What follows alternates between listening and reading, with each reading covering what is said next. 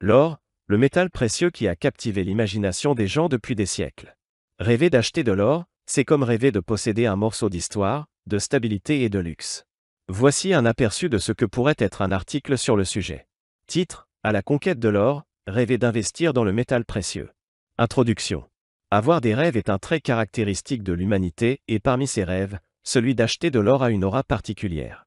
L'or, avec sa brillance éternelle et son statut de métal précieux, a toujours été associé à la richesse, à la puissance et à la sécurité financière. Alors, que signifie réellement rêver d'investir dans l'or? Le symbolisme de l'or. L'or va au-delà de sa valeur financière. C'est un symbole de réussite, de prestige et de longévité.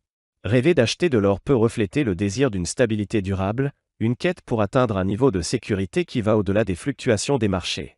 L'investissement dans l'or. Si le rêve se transforme en réalité, l'investissement dans l'or peut prendre plusieurs formes. Des lingots d'or aux bijoux, en passant par les pièces de monnaie anciennes, chaque forme d'or a son propre attrait et son propre marché. Les investisseurs peuvent choisir entre la tangibilité du métal physique et la facilité de stockage des investissements sous forme électronique. La volatilité du marché de l'or. Cependant, le rêve d'acheter de l'or n'est pas sans défi. Le marché de l'or est soumis à des fluctuations, influencées par divers facteurs économiques et géopolitiques. Comprendre la volatilité du marché est essentiel pour quiconque envisage sérieusement d'investir dans ce métal précieux. Conclusion. En fin de compte, rêver d'acheter de l'or va au-delà de la simple acquisition d'une ressource précieuse. C'est une aspiration à la sécurité, à la prospérité et à la pérennité.